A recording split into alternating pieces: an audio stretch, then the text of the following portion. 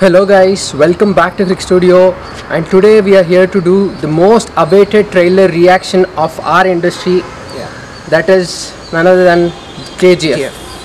Well, uh, this movie is directed by Prashant starring Yash and Srinidhi Shetty, and you have a major cast in this. You have uh, Vashishta and Sim- Simha, and then uh, a very big crew, and you have many junior artists uh, utilized in this uh, uh, movie.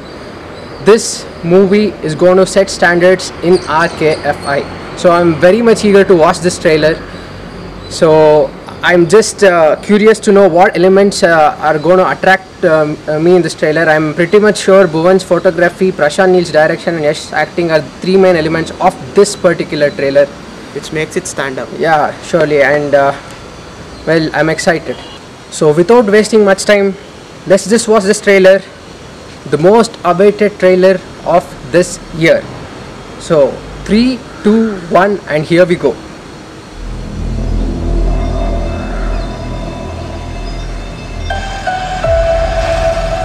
Nineteen fifty-one.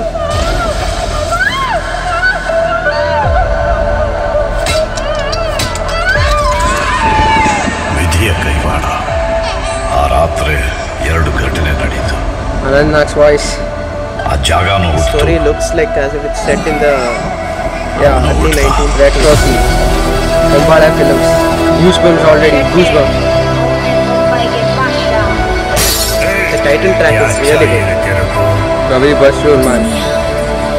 Right. ರಕ್ತನ ಕೆಂಪಗೆ The entry of Yash is just mass. नहीं रे तेरे बाप की है और तेरा बाप मैं हूँ Crazy man.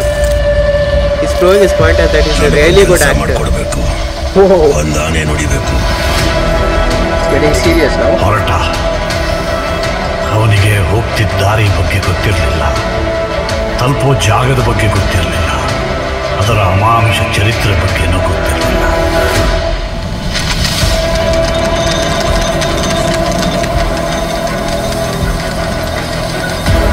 like it's been set in the quarry set. Yeah, it's a large set. ಎಷ್ಟೊಂದು ಹೆದರ್ತಾ ಇದೆಯಾ ಅಂದ್ರೆ ಇನ್ನು ರಕ್ತ ನದಿಯಾಗಲಿಯೋಕ್ ಮುಂಚೆನೆ ನೀನ್ ಇಲ್ಲಿಂದ ಹೊರಟ್ಬಿಡು Entry of the villain. ಭಾವನೆಗಳು ಒಳಗಾಗಬೇಡ ಇಲ್ಲದಕ್ಕೆ ಬೆಲೆ ಇಲ್ಲ ಸ್ಟೋರಿ ಏನಂದ್ರೆ ಮೋಸ್ಟ್ಲಿ ಅಪ್ರೈಸಿಂಗ್ ಇರಬೇಕು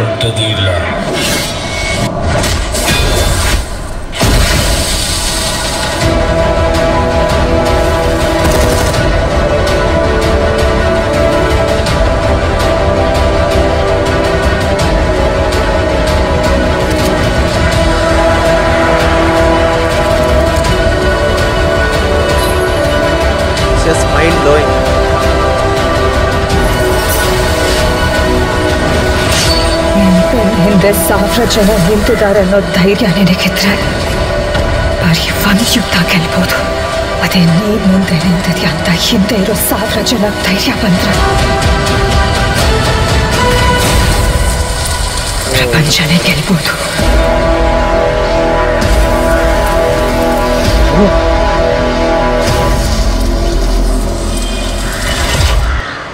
ವೆಲ್ ಒಂದು ಹಾನೆಸ್ಟ್ ಒಪಿನಿಯನ್ ಹೇಳ್ತೀನಿ currently I am quite emotional because K F ಐನಲ್ಲಿ ಈ ಥರ ಒಂದು ಫಿಲಮ್ ಬಂದಿಲ್ಲ.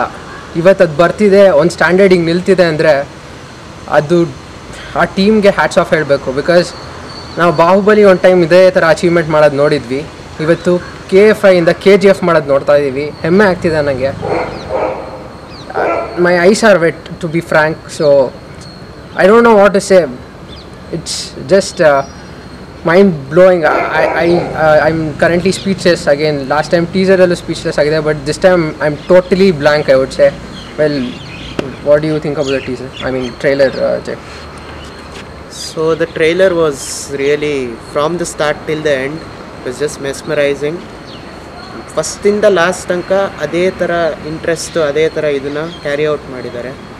ಇದು ಮೂವಿಯಲ್ಲೂ ಅಷ್ಟೇ, ಹಂಗೆ ಕ್ಯಾರಿ ಔಟ್ ಮಾಡ್ತಾರೆ ಅಂತ ನಾವು ಅಂದ್ಕೊಂಡಿದ್ದೀವಿ ಆಮೇಲೆ this story set in the early nineteen fifties where the there's an uprising of the people ಆದರೆ ಇದನ್ನು ಈ ಸ್ಟೋರಿನ ಹೆಂಗೆ ತೊಗೊಂಡೋಗಿದ್ದಾರೆ ಅಂದರೆ ಜನಕ್ಕೆ ಇಂಟ್ರೆಸ್ಟ್ ಮಾಡಂಗೆ ಮಾಡಿದ್ದಾರೆ.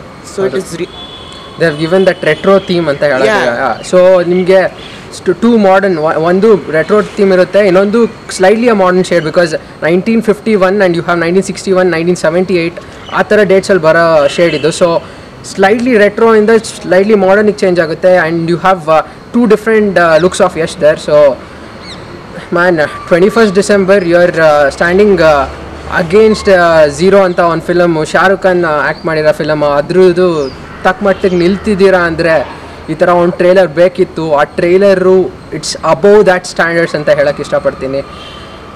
This standard is what I was talking about K F I till these days one year brag ಮಾಡಿದ್ದೀನಿ movie ಬಗ್ಗೆ. ಒನ್ ಇಯರ್ ಬ್ರ್ಯಾಗ್ ಮಾಡಿದ್ದೀನಿ ಅಂದರೆ ಇದೇ ಅರ್ಥ. ಇದೇ ರೀಸನಿಗೆ ನಾನು ಸಪೋರ್ಟ್ ಮಾಡಿದ್ದು.